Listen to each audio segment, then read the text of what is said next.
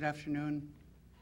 Uh, I'd like to um, make a public statement at this time. Uh, Would indicate that I will not be entertaining any questions at the conclusion of this prepared statement.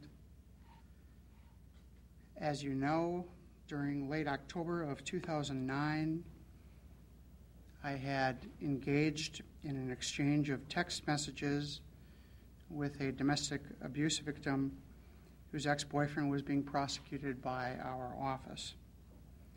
I had asked the young woman if she'd be interested in a personal relationship after the conclusion of the case. My behavior was inappropriate. I'm embarrassed and ashamed for the choices that I made, and the fault was mine alone.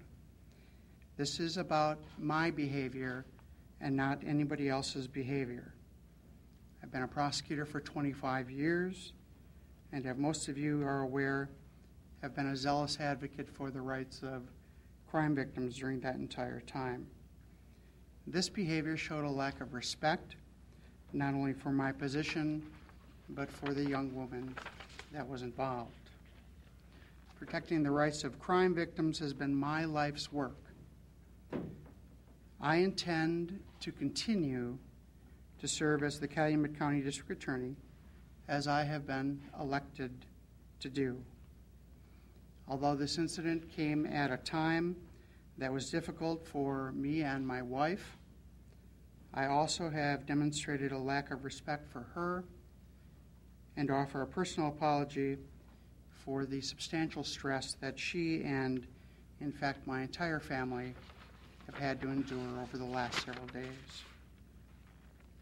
Any kind of suggestive electronic communication, even in a personal nature, demonstrates arrogance and lack of respect. After considering my selfishness and my arrogance in contacting this young woman, I immediately engaged in individual psychotherapy to address these issues. I have today decided to seek additional help in addressing these issues and may consider personal time off as my duties here in Calumet County and as the uh, court calendar may allow. I hope to regain the trust of the crime victims community, the trust of my staff, and the respect of the citizens of Calumet County. Once again, I'd like to offer my sincere and heartfelt apology not only to the young woman that was involved, but to everybody who has been so deeply affected by this lack of judgment.